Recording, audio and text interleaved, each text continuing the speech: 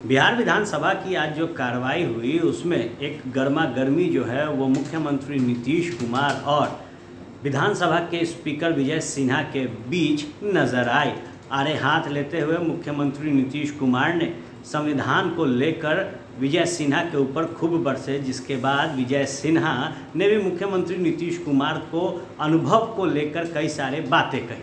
बहरहाल, इसको लेकर आरोप प्रत्यारोप का जो दौर है, वो शुरू हुआ। जेडीयू के कई नेताओं ने जो प्रतिक्रियाएँ दी, वो हमने आपको दिखाई। वहीं विपक्ष ने जो भी बातें मुख्यमंत्री नीतीश कुमार और जो स्पीकर हैं विजय सिन्हा, उनको लेकर कही, वो भी हमने आपको सुनाई। लेकिन जो बड़ी खबर इन सब के बीच निकल कर आई, वो ये कि मुख्यमंत्री नीतीश कुमार ने बिहार के राज्यपाल फागू चौहान से मुलाकात की है। और जैसे ही ये खबर बिहार के सियासी गलियारों में आई, उसके बाद कई तरीके के जो मायने हैं, जो कयास है, वो लगाया जाने लगा।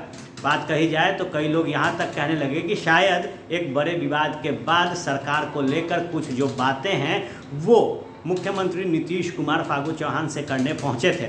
हालाँकि इस पूरे प्रकरण के पीछे जो मामला निकल कर सामने आया, वो ये रहा कि फागू चौहान से मुख्यमंत्री नीतीश कुमार की ये मुलाकात महज एक शिष्टाचार के तौर पर की गई है।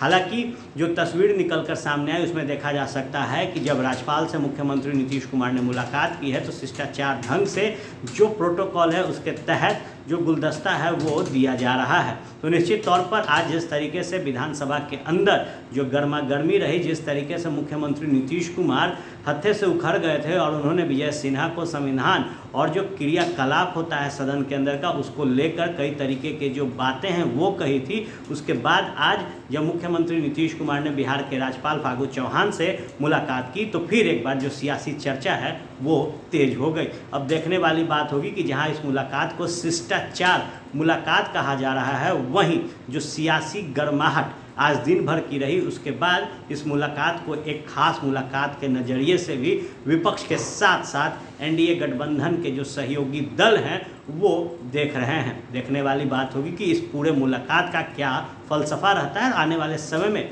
इस पर किस तरीके से जनता दल यूनाइटेड और ख़ास तौर पर मुख्यमंत्री नीतीश कुमार अपनी बातों को रखते हैं, ये देखना दिलचस्प होगा।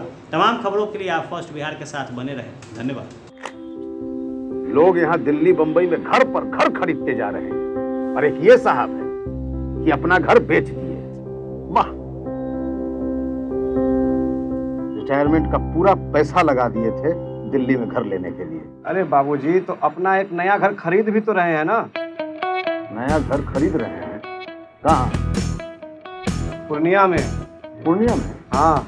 अरे बाबूजी दिल्ली बम्बई में घर खरीदना अच्छी बात है लेकिन अपने घर पे घर खरीदना बड़ी बात है।